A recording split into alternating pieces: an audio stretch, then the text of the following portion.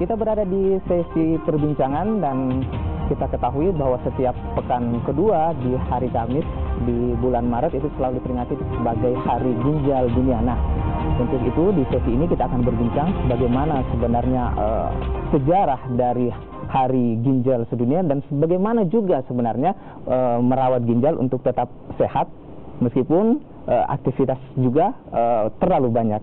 Nah, di studio Kompas TV Makassar kami sudah kedatangan tamu ada Dr. Hashim uh, Kasim selaku Ketua Divisi Ginjal dan Hipertensi Fakultas Kedokteran Universitas Hasanuddin. Selamat pagi Pak. Ya, selamat pagi. Assalamualaikum warahmatullahi wabarakatuh. Waalaikumsalam warahmatullahi wabarakatuh. Pak, uh, saya mau berbincang lebih awal dulu. Kenapa sih uh, Hari Ginjal itu diperingati? Jadi Hari Ginjal itu diperingati sebenarnya uh, uh, untuk mengingatkan mm -hmm. mengingatkan kepada masyarakat tentang pentingnya kesehatan ginjal. Okay. Sebab kita tahu bahwa kesehatan ini dampaknya terlalu luas mm -hmm. dan uh, itu adalah akibat dari penyakit-penyakit dan pola perilaku mm -hmm. kehidupan yang sebelumnya. Saya katakan demikian kita ketahui bahwa penyebab gagal ginjal ini atau cuci darah misalnya mm -hmm. yang sering orang jadi momok, okay. gagal ginjal ini ya sekitar uh, uh, hipertensi itu penyebab terbanyak. Ya. Sebelum kita jauh ya. ke sana, saya ya. mau berbicara dulu soal sejarah. Kenapa harus tanggal uh, apa? Dia Kamis kedua bulan ya. Maret setiap tahun itu diperingati sebagai hari ginjal. Ya. Apa yang terjadi? Sebenarnya sebenarnya tidak ada hari uh, yang terlalu bersejarah okay. dalam hal itu. Cuma uh, oleh karena perkumpulan dari dokter-dokter ginjal sedunia mm. itu menetapkan saja okay. bahwa mungkin supaya tidak berubah kita tetapkan mm. bahwa tiap hari Kamis mm. minggu kedua Maret itu kita peringati sebagai Hari Ginjal Sedunia. Oke. Adakah ya. mungkin uh, karena kekhawatiran terlalu banyaknya penyakit ginjal, jadi akhirnya dimulailah ada kesadaran dokter ini untuk memperingati Hari Ginjal? Ya, sebenarnya itu itulah yang dimaksud okay. itu bahwa ini untuk mencegah penyakit-penyakit uh, apa penyakit-penyakit uh, dampaknya. Uh -uh. Jadi tiap tahun sebenarnya itu berubah uh -uh. ya seperti tahun ini. Tahun ini bagaimana kita mengobati, mendeteksi uh -uh. secara dini ya terus merawat pasien-pasien hmm. penyakit ginjal itu. Okay. itu. Kecenderungannya seperti apa dok? Apakah uh, semakin menaik setiap tahunnya atau ya. ada kabar baiknya semakin menurun? Sebenarnya semakin meningkat, semakin, semakin meningkat. meningkat. Ini karena pola hidup yang sangat berbeda dan hmm. Uh, yang tidak disiplin. Hmm. Jadi kalau kita lihat pasien-pasien itu sebenarnya ya itu faktor risikonya antara lain yaitu kencing manis, hmm. hipertensi, pola hidup saya katakan pola hidup seperti yang sekarang anak-anak itu hmm. makanan yang apa junk food okay. ya itu di restoran-restoran itu semua menyediakan garam hmm. padahal sebenarnya itu sangat mengkhawatirkan mm -hmm. semua menyediakan alat uh, penyedap mm -hmm. itu semua mengkhawatirkan okay. dan kita tahu bahwa sekarang ini masyarakat terlalu gila dengan pekerjaan mm -hmm. work alcoholism okay. sehingga kalau badannya sakit dia pergi beli obat-obat yang ada hmm. di toko okay. obat anti sakit padahal itu sebenarnya sangat risiko untuk terjadinya gagal ginjal meracuni ginjal misalnya obat-obat asam epenama okay. yang sering oh. itu ya itu bahaya sebenarnya ya kalau bukan resep dari dokter okay. termasuk jamu-jamuan ya nah oh. kadang-kala juga masyarakat kita terutama remaja-remaja itu kalau kehausan bukan air putih yang dia minum, tetapi Coca-Cola, okay. ya soft drink. Nah, itulah yang menyebabkannya kesalahan di situ. Oke, okay, kita tidak menyebut ya. merek sebenarnya. Ya, ya. Oke, okay, uh, eh, saya mungkin butuh data. Sebenarnya berapa uh, data penderita penyakit ginjal di Indonesia yang kalau dokter punya datanya? Iya, kalau kita lihat ini data dari penyakit ginjal di Indonesia itu sangat tinggi, mm -hmm. ya. Itu tahun ini saja sekitar 300 ribu orang. Oke, okay, itu ya. se-Indonesia? Se-Indonesia. Kecenderungannya ya. di kota atau di desa? Kecenderungannya karena uh, misalnya ini cuci darah itu di kota, kota? maka di kota ini. Tetapi sebenarnya lebih banyak di desa. Oh, apa, Cuma apa yang terjadi? Yang terjadi tidak terdeteksi. Okay. Jadi gagal ginjal sebenarnya ini uh, kita tidak bisa kategorikan bahwa gagal ginjal kita sa samakan dengan bahwa dia harus cuci darah. Tidak. Mm -hmm. okay. Ada tahap-tahapannya. Tahap satu, tahap dua, tahap tiga, tahap empat. Nah tahap-tahap ini tahap-tahap ini bisa dicegah supaya dia jangan masuk mm -hmm. ke tahap lima yaitu gagal ginjal tahap air yang okay. mesti yang biasanya dilakukan terapi pengganti ginjal. Oke. Okay. Jadi terapi pengganti ginjal itu biasa kita sebut cuci darah, okay. terus ada transplantasi darah. Okay. Ada juga yang namanya yang ditanam di perut itu kita bisa lakukan di rumah namanya peritoneal dialisis. Oke. Okay. Ya, ya. Uh, angka kematian dari penyakit ginjal adakah datanya yang kita punya? Sebenarnya banyak sekali datanya tentang kematian sangat tinggi. Jadi penyakit ginjal ini bukan penyakit ginjalnya yang menyebabkan orang mati, Oke. tetapi komplikasi yang terjadi Akibat akibat penyakit, Penyakit ginjal. ginjal. Misalnya kardiovaskuler, Mm-mm. serangan jantung. Oke, oke. Fungsi, fungsi utama ginjal apa sih sebenarnya dok? Jadi- Supaya karena kan kalau dokter Ya. bilang tadi ada implikasi ke sana kemari, Ya, ada itu apa sebenarnya fungsi Ya, utama ginjal? jadi implikasi jadi fungsi ginjal sebenarnya banyak. Ada itu menyaring kotoran-kotoran dari darah untuk di- menjadi bersih. Mm-mm. Itu bahasa bahasa Oke, bahasa bahasa, oke. ya. Ya, kemudian menghasilkan hormon. Kemudian mengatur cairan dalam badan. Mm-mm.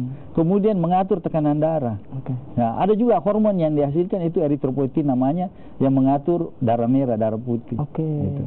Jadi itu itu anunya, fungsinya itu. Ya. Oke, Eh, kita melihat bahwa sebenarnya salah satu penyebabnya adalah karena gaya gaya hidup Ya, sebenarnya. lifestyle. Ah, apa yang salah dengan gaya hidup kita sekarang, dok? Ya. Dari lihat sampai memicu penyakit ginjal ini. Ya, kita lihat pola hidup, ya. Jadi pola makan terutama. Oke. Ya, pola makan, pola makan yang berlebihan, obes, Oke. terus eh, junk food, ya, yang serba serba eh, siap, Mm-mm. siap saji, Oke. yang banyak mengandung pitsin, banyak mengandung ya penye- penyedap, Mm-mm. banyak mengandung garam, ya. Nah itu sangat ini. Kemudian ya pola hidup, pola tidur misalnya yang tidak teratur, itu tadi yang soft drink, Mm-mm. Ya makan tidak teratur dan terutama faktor risiko tadi saya katakan bahwa orang yang kencing manis, Mm. orang yang asam urat, ya yang sering makan obat-obat anti sakit, orang yang hipertensi, ya dan juga penyebab lain itu kalau kita sudah ada riwayat bahwa keluarga kita pernah menderita gagal ginjal, Oke. hati-hati sebab dalam turunan itu Oh. akan gampang untuk kena. Oke. Itu risiko sangat tinggi. Oke, Eh, apakah termasuk misalnya eh, kita kan tidak bisa mungkin menghindari sekarang penyedap rasa, Iya. pestisida itu Iya. agak sulit karena Iya. eh, mungkin bisa dikatakan beras kita makan sudah ada Iya. pestisidanya, Iya. Iya. hampir semua makanan itu ada penyedap rasanya itu seperti Iya. apa? Ya, jadi mungkin ya kita harus eh, mengubah supaya jangan terlalu sering makan di restoran, makan pesan. Kita olahlah makanan-makanan yang ada di Oke. eh, di rumah kita beli di pasar, bahwa kita tahu asalnya, ya.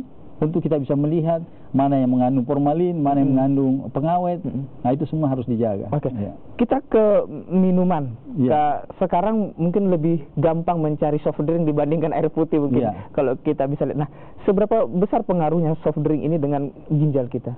Ya, sebenarnya soft drink itu ada pengawet, ada apa semua. Oke. Jadi sangat berpengaruh. Kemudian yang baik itu sebenarnya minuman biasa. Oke, air putih. Air putih. Air putih itu sama dengan yang ada dalam tubuh kita, hampir sama lah Oke. kadarnya, ya. Kadarnya. Jadi apalagi yang mungkin sudah diolah oleh eh, PDAM Oke. ya misalnya Mm-mm. atau yang kita beli dari air galon yang Mm-mm. sudah didestilasi apa semua Mm-mm. itu sangat membantu. Tetapi kalau kita tahu ob- soft soft drink itu ya ada yang tentu eh, zat-zatnya terlalu tinggi, magnesiumnya apa semua. Nah, itu sangat berpengaruh terhadap eh, eh, tubuh kita Oke. juga. Artinya bisa saya katakan eh, boleh dimakan dengan kadar tertentu atau tidak boleh sama sekali? Boleh dimakan dalam batas tertentu dan kondisi pasien itu. Uh-uh. Jadi kalau pasien sudah menderita gagal ginjal itu malah kita larang. Oke. Tapi kalau Batas. bagi orang yang sehat, Ya. apakah ada batasan em, seberapa boleh banyak kita boleh makan junk food, seberapa banyak kita boleh minum soft drink? Ya itu itu memang serba eh, relatif. Dilematis. Ya dilematis relatif. Sebab kadang-kala kita bilang jangan tapi orang Oh, iya. mau juga ya. Jadi itu batasannya juga susah. Karena makin dia makan makin enak dan makin bertambah sesuai dengan usia mungkin. Oke, ya. Dok, nanti kita akan berbincang lebih lanjut. Eh, sebenarnya pola hidup atau makanan Ya. apa sebenarnya yang baik untuk ginjal kita dan tentu saja untuk tubuh kita sebenarnya. Ya. Nah, saudara kita akan berbincang atau melanjutkan perbincangan tentang ginjal setelah jeda berikut.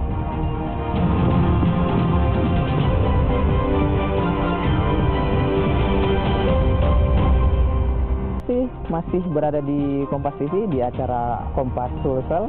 Nah, kita lanjutkan perbincangan kita ter- terkait hari ginjal. Nah, dok, eh, saya punya rekan itu harus mencuci darah setiap tiga eh, kali dalam sepekan. Sepekan, ya. Nah, itu sebenarnya apa yang menyebabkan orang itu mengalami kerusakan eh, ginjal sampai separah itu? Dan bagaimana sebenarnya? Apakah ketika orang sudah mencuci darah itu sudah tidak bisa dalam artian sembuh secara normal?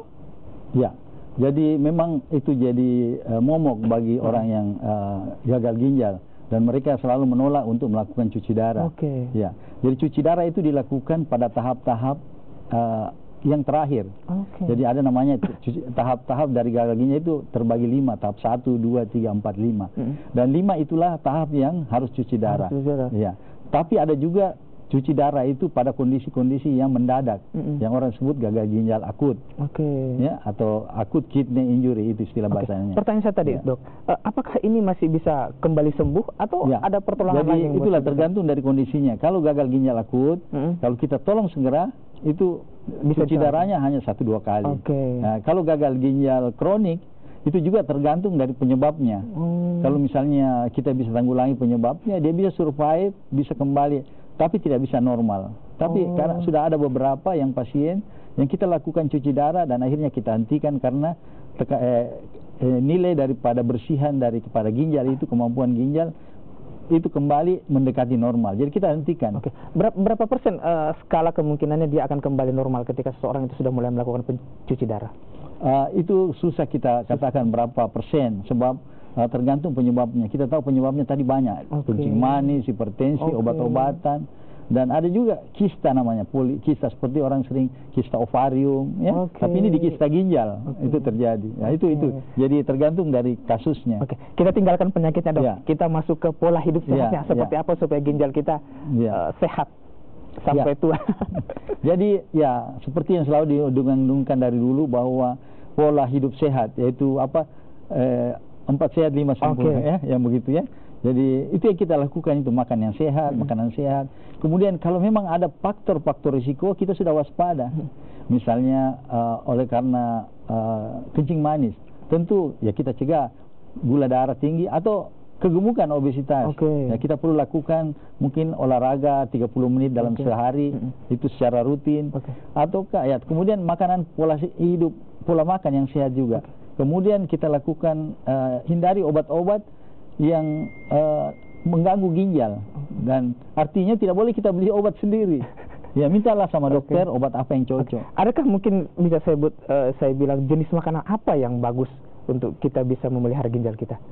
Ya, jenis makanan yang makanan segar sebenarnya. Okay. Dan makanan yang cocok dengan kondisi tubuh. Misalnya kalau kencing manis ya jangan makan yang obat yang banyak mengandung okay. gula. Apakah misalnya dok uh, lebih banyak mengkonsumsi sayuran, banyak mengkonsumsi daging, ikan atau seperti apa? Ya, itu itu uh, memang di, dianjurkan, disarankan. Jadi ada keseimbangan antara misalnya uh, berapa persen lemak, berapa hmm. persen karbohidrat, ya berapa persen protein. Okay. Itu dan yang lebih banyak ya katanya dari ada lemak jenuh, tidak jenuh okay. itu memilih di situ. Okay. Tapi kan kecenderungan masyarakat kita yeah. di Indonesia bahwa makan tiga kali sekali, yang yeah. penting kenyang, soal gizi belakangan. Ya, ya itulah mungkin pola hidup negara berkembang okay. mungkin. Ya. ya, jadi yang penting kenyang dulu. Ah, ya, sebenarnya tidak. Tidak bisa. Ya, seperti sekarang ini kan banyak di mana-mana kita bisa makan, yang penting hmm. kenyang.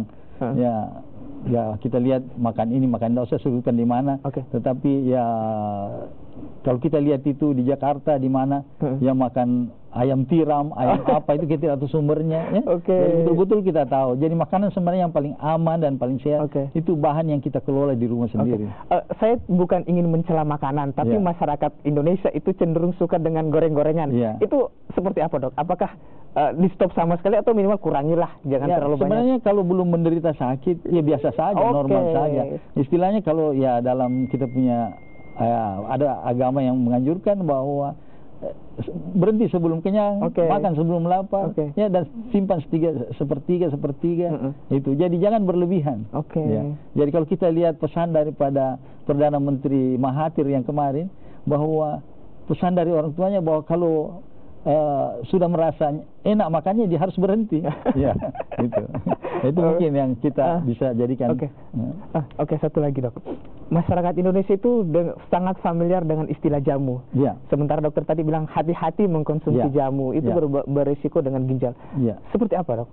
Jadi jamu-jamu yang asli sebenarnya bagus. Okay. Ya. Jadi misalnya dari kunyit, mm -mm. dari berbagai tumbuhan. Mm.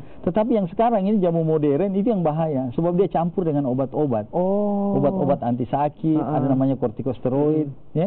Itu sangat mengganggu, bisa mengganggu ginjal dan juga menyebabkan kerusakan di dalam organ-organ okay. lain dalam tubuh kita. Artinya harus mulai dibatasi sebenarnya. Iya, jadi jamu itu harus ditahu betul yang biasa jamu gendong sebenarnya itu iya.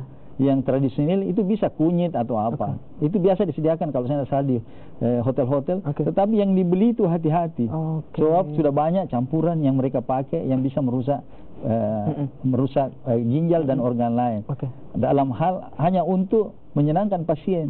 ya, ada seketika maksudnya. Oke. Ya. Ah, Oke, kita kembali ke pola hidup. Salah satu masalah orang-orang yang tinggal di perkotaan adalah Ya. jarang bergerak, jarang berolahraga. Ya. Itu seperti apa sebenarnya sebaiknya? Ya, jadi sebenarnya itu ya kalau jalan bergerak, jalan olahraga tentunya eh, ya ada istilahnya eh, menyebabkan tingkat sel-sel yang radikal bebas itu meningkat ya. Mm. Jadi yang toksik, yang racun itu meningkat dalam badan.